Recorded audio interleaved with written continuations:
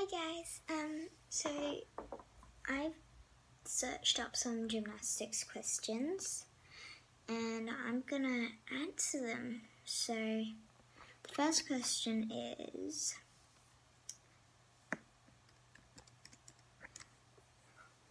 What are you most proud of that you've done at gym this week? Um, I would say my pike to handstand. I've just recently got it and I'm so happy. So that's my answer for that one. What is the hardest thing you've done at gym this week? Um,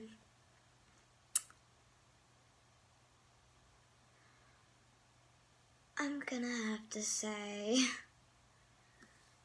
my duh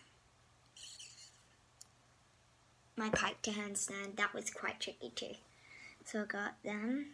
Then, what correction did you remember the most this week?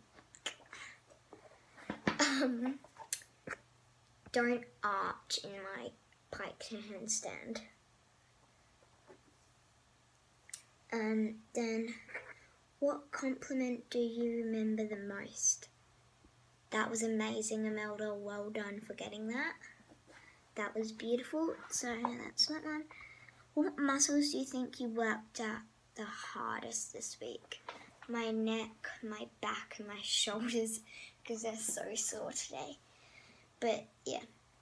And then the last one is Were you proud of any teammates this week?